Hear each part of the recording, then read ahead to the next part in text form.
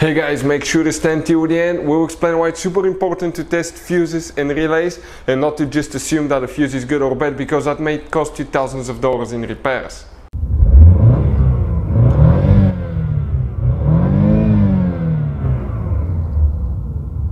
Hey guys, welcome back to Electrical Car Repair Live. Thank you guys for watching and subscribing to the channel. Today will be super helpful video to any of you having a Ford Mustang that generation here from year 2015 to year 2023. If you have one of those, you have a problem where the car overheats, stay with us. We'll explain uh, which fuses relays you need to check and how bad fuses relays can actually make your car to overheat guys.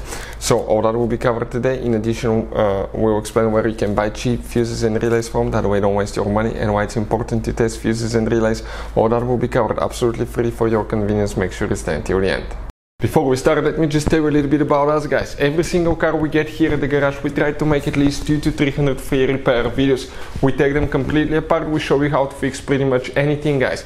Anything from engines, transmissions, bodywork. Why we do all that? Because our mission in the shop is to save you as much money as we can. All we need guys in return, please subscribe to the channel, like the video, that way we can keep providing this absolutely free information. And if you guys need to buy any uh, replacement, fuses, relays, because some of those could be really expensive the parts store. Any parts any tools for your car check out the link in the description of the video below. That's where we get our tool supplies from and you can save a ton of money. So let's start on it now so here guys, we're going to demonstrate on that 2018 Ford Mustang GT, but even if you have a different, uh, uh, different engine, it may help as well. This is the fuse box that we need. Open it by pressing that notch. You see the fuse numbers here and that layout specifically here guys corresponds to what we have here. That's very convenient. Bad news, you don't know guys what they're for, so that's why we're making that video to save you guys time and money. It is guys very important to test fuses and relays. On those fuses you cannot clearly see if they're burnt or not, especially you can see in the J case fuses as well. And if you guys assume, okay, let's say you remove a fuse, you look at it and you assume guys that it's uh, actually a, a good fuse, but it's actually a bad fuse. Sometimes you cannot clearly see that. What can easily happen, guys, at that point, uh, you can uh, uh, put the bad fuse in and you start replacing parts and tools that you don't need to, so you lose your time, you lose your money to fix a problem that doesn't exist when all we had to do is test the fuse and replace it. We'll put a link to a special video that will teach you how to test fuses, how to check relays very easily as well guys. So uh, check it out, it will be in the description of the video below.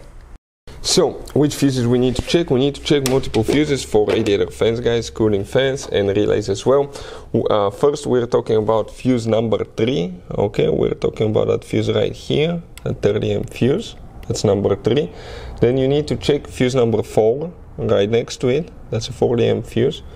So these two fuses will need to be checked, okay, for radiator fan. Uh, you will need to check, guys, one more fuse and that's fuse number 55 right here okay? Fuse number 55 will be that 25 amp fuse in our case. You will need to check three relays and we're talking about relay 77 that's a relay okay right here.